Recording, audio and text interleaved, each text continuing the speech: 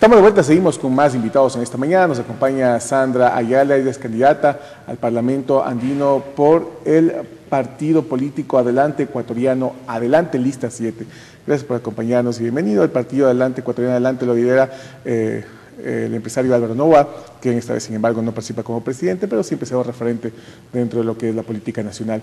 Sin embargo, ustedes, dentro de esta intención, ¿cómo se da esta relación y, cómo, eh, y qué situaciones confluyen para que decida participar como candidata al Parlamento andino? Bueno, eh, más que, eh, primeramente, dar un saludo a toda la gente imbabureña que me está mirando ahorita y contestando a su pregunta, pues yo me decidí, a participar como candidata al Parlamento andino porque en verdad necesito eh, ayudar a la gente donde yo vivo, a los imbabureños, y no solamente a Imbabura, sino a todos los ecuatorianos. Álvaro Novoa, un líder de nuestro partido Adelante Ecuatoriano Adelante, no pudo presentarse, no, no va a concursar como candidato para la presidencia, porque no hubo nadie quien quiera aliarse a él. Pero Él está con nosotros, está ayudándonos, está liderándonos a nosotros para poder llegar a donde nosotros queremos llegar.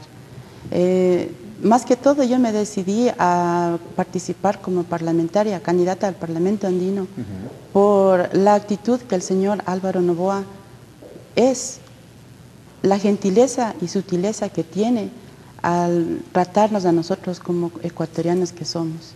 Y además tengo mucho eh, Álvaro Novoa es una persona para mí un líder, un líder, una persona que sabe lo que hace, un empresario que ha estado siempre dispuesto a ayudarnos aquí a los ecuatorianos sin necesidad de llegar a ser eh, presidente, vicepresidente o asambleísta. Es por eso que en honor a Álvaro Novoa yo acepté ser, correr con esta candidatura para el Parlamento andino. Es un tema complejo, sin embargo, ser parlamento andino, eh, candidato o llegar a ser parlamentario andino, de tener un conocimiento profundo sobre geopolítica, realidad de diferentes naciones, sobre todo tomando en cuenta que eh, hay una representación de diferentes países con temas y problemas, problemáticas comunes que deben enfrentar. ¿Cuáles son las propuestas que en su caso tiene en caso de llegar al Parlamento andino? Bueno, eh, los candidatos al Parlamento andino nos hemos fundamentado principalmente en cuatro ejes principales, que es la, lo, en lo social, lo económico, lo internacional y lo ambiental. Son cuatro ejes principales que debemos nosotros resolver. En lo social es hacer una verdadera integración, que no sea solamente de los gobiernos y élites, sino más bien de los países de la comunidad andina, que además de tratarse de lo económico, también se lleve temas de discusión como la salud, la educación, los derechos humanos, la, eh, eh, la pobreza, incluir a mujeres, a mujeres madres solteras, entre otros aspectos principales. Entonces, ese es una de la, de la, de la prioridad, ¿no? Que llevar estos temas para que toda la comunidad andina traigan los temas, pongamos en una mesa discutamos estos temas y podamos sacar, llegar a una conclusión. En la juventud, en lo referente a la juventud, es prioridad que los chicos, los chicos que han terminado el bachillerato tengan la oportunidad de entrar a las universidades, porque no es justo que más de, 70, de 700 mil estudiantes en los últimos seis años no hayan podido entrar a las universidades.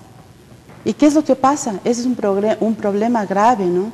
Yo como educadora, o educadora universitaria, profesora universitaria que soy, yo veo que los chicos, en vez de estudiar, se dedican a otras cosas, a consumir droga, a pandillas o a estar parados en la esquina, y, porque no hay trabajo.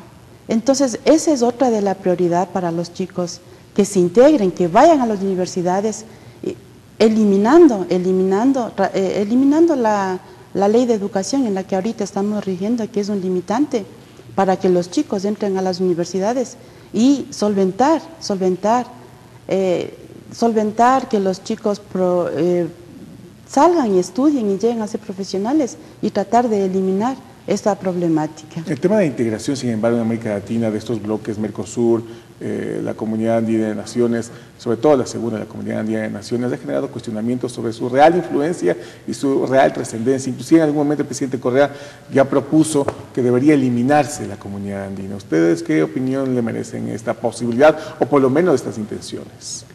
Yo pienso que eso no debe, no debe suceder, ¿no? Porque como comunidad andina, nosotros debemos estar unidos.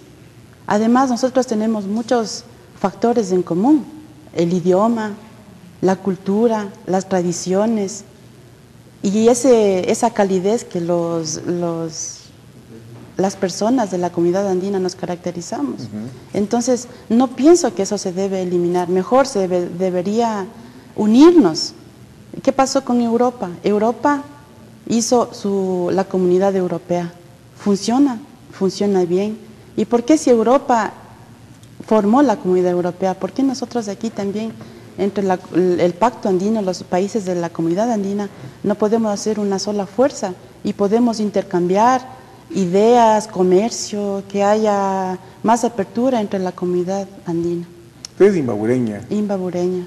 Y le tocará recorrer el país para llevar su propuesta. ¿Cómo le está yendo en estos primeros días de campaña?